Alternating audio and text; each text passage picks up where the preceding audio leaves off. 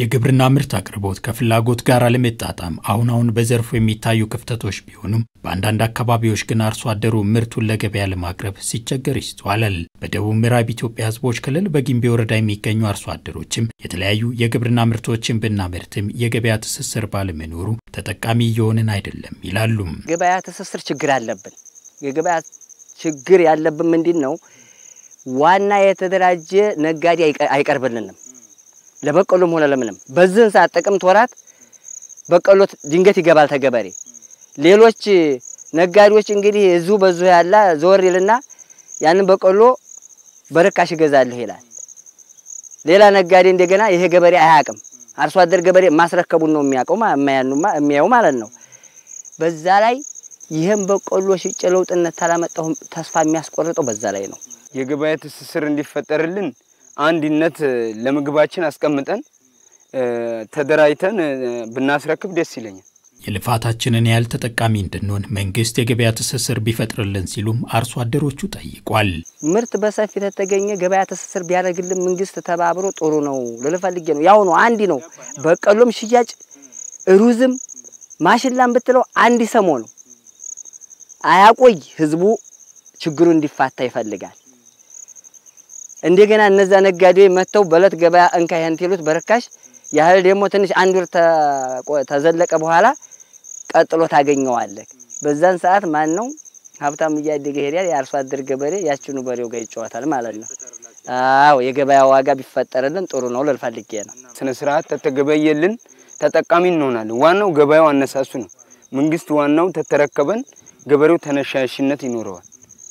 ገበሬው ግን ይህን ነገር አሁንም በዙ ዝም ብለን ቁጥቁጥ የምንሸጠው ተሆነ አንጠቀምም። አሁንም ገበሬው ቢሆን ማለት ነው። ክልሉ የቅመማ ቅመም ምርቶችን ጨምሮ የተለያዩ ሰብሎችና ፍራፍሬዎች የሚመረቱበት እንደመሆኑ መጠን ለኢንዱስትሪ ግብዓት ዋነኛ ምንጭ የመሆን እምቅ አቅም ያለው ነው። በግብርናው ዘርፍ ያለውን ከፍተኛ ምርት እሴት ጨምሮ ለገበያው ማቅረብና የግብይት ሰንሰለቱን በማዘመን አርሶ አደሩን ተጠቃሚ ማድረግ ግድ ይላል። በዚህም ምርቶችን ተቀብሎ እሴት የሚጨምር ኢንዱስትሪ በአካባቢው እንዲኖር ተጠይቋል። አርሶ አደሮችም የኛም ጥያቄ ነው። እውነት ነው። ቅድም መግቢያ ላይ የሚያነሳውኝ ኢንዱስትሪ የዚህ አካባቢ ላይ የለም። ነገር ግን ለኢንዱስትሪ የሚሆን ግብዓት የሚያመርት አካባቢ ይሄ ነው።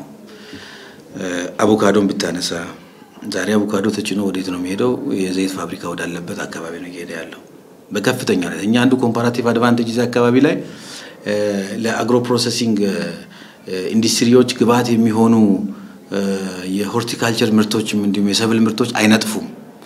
ለምን ቢባል ይብዛም ይነስም ዝናብ እርጥበት ስለሚያገኙ። ሌላ አካባቢ ላይ አቮካዶ ሲጠፋ እዚህ አይጠፋም፣ ታገኘዋለህ። ሌላ አካባቢ ላይ የሆነ ነገር በድርቅ ምክንያት ወይም በፀሐይ በመኖሩ ባለመኖሩ ምክንያት ሲጠፋ እዚህ ታገኛለህ። የማይነጥፍ ተከታታይነት ያለው ምርት ይገኝበታል። እኚህ ለኢንዱስትሪ ዋነኛ ግብዓት የሆኑ ምርቶች ለከፍተኛ ብክነት መዳረጋቸውን ያመለከተው የክልሉ መንግስት ምርቶቹ በአግባቡ ጥቅም ላይ እንዲውሉና የአርሶ አደሩን ኢኮኖሚያዊ ተጠቃሚነት ለማረጋገጥ እንደሚሰራም ተመላክቷል። አሁን ገጠር ውስጥ ብትገባ ዙረ አቮካዶ ወይ መሬት ላይ ወድቆ የሚጠቀሙ የሚገዛ ሰው አቶ ነው የምታገኘው። ሰው ይሄን መሰብሰብ አለብን። ስለዚህ ምንድነው ይሄን የግብይት ስርዓቱን አንዱ የማጠናከር ሁለተኛ ደግሞ ምርቶች የተመረቱ ያሉት ደግሞ በአግባቡ በአቅራቢያ ባለው ኢንዱስትሪ ተቋቁሞ processed ሆኖ ለህብረተሰቡ እንዲቀርቡ የማድረግ ጉዳይ ይሄ የቤት ስራችን ነው።